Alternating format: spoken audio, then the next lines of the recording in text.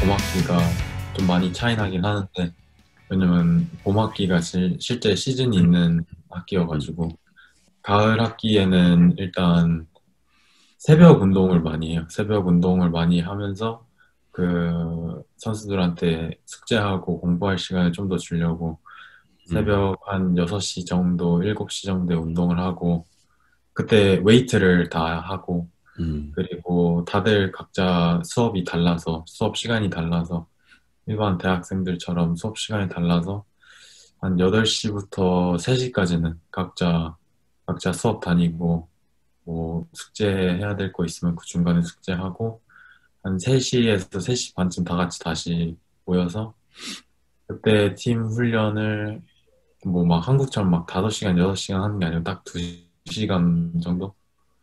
2시간, 2시간 반 정도 훈련하고 음. 청백전 있는 날은 조금 더 한 3시간, 3시간 반 정도 하고 음. 딱 저녁 먹을 시간대쯤에 보내주고 음. 해서 저녁 먹고 이제 이제 숙제하고 알아서 저녁 음. 시간 보내고 음. 네, 숙제 같은 것들이 좀 과제 같은 것들이 일반 대학생들이랑 똑같으니까 음. 그게 뭐 적은 양은 아니어서 음. 저녁에 대부분 숙제하다가 음. 뭐 저녁 먹고 숙제하다가 씻고 자는 시기인 것 같아요. 음. 이제 봄 학기에는 좀 다른 게 여기 미국 여기 대학 어, 야구는 금요일, 토요일, 일요일이 세 경기 시리즈를 많이 하는데 음. 만약에 금요일, 토요일, 일요일 경기가 다른 학교에 가서 시합을 해야 된다 그러면 목요일 정도, 목요일 오후에 수업을 빠지고 음, 그 버스 타고 이동을 하고요. 음.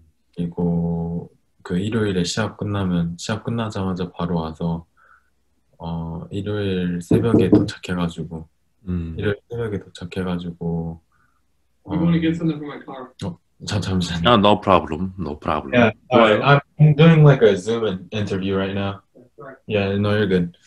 Um, 그래가지고 네, 주 일요일에 와서 도착해가지고 새벽에 와서 월요일 날 다시 수업 들어가고 월요일, 화요일, 수요일 정도는 약간 가볍게 운동하는 식으로 음. 그래도 수업은 다 참여하고 음. 스테픈 커리도 데이비슨 대학 다닐 때 그 Players' Tribune인가 그 잡지에 올린 글 보니까 원정 경기 가면 선수들이 다 라커룸 옆에 노트북 펴놓고 있다고.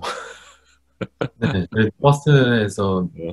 다 노트북으로 숙제하고 음. 도착해서 호, 호- 호텔에서도 다 노트북 켜고 침대에 앉아서 숙제하고 있고 음. 그렇습니다. 그럴 때 내가 왜 이러고 있냐라는 생각 좀 들지 않아요?